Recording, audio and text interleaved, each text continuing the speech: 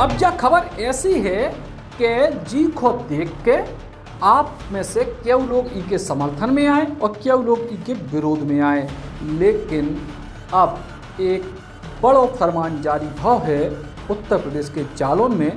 इतने बेसिक शिक्षा अधिकारी को फरमान है कि पत्रकारों को बिना आई कार्ड के प्रवेश नहीं दिया जाए स्कूल में। बीएसए ने 16 सितंबर 2022 को एक आदेश जारी करे है।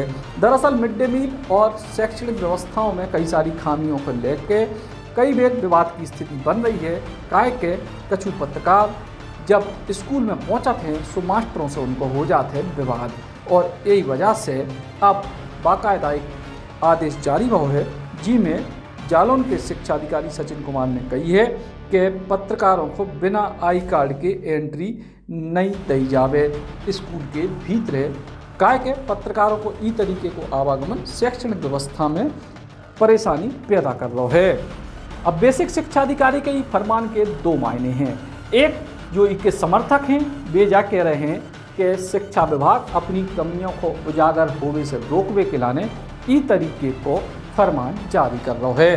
दूसरी तरफ़, वे लोग जो ई आदेश के समर्थक हैं, उनको मानव जो है कि चाहे पत्रकार हो, चाहे को हो, अगर उनके पास एक व्यवस्थित, वैध पहचान पत्र, यानी अंग्रेज़ी में कही जाए तो आई कार्ड है तो फिर उनको का दिक्कत है अपनी पहचान छुपावे की और एक वजह से यह खबर चर्चा में है पूरे बुंदेलखंड में। जालौन से रविकांत द्विवेदी बुंदेली पहुंचार खिलाने।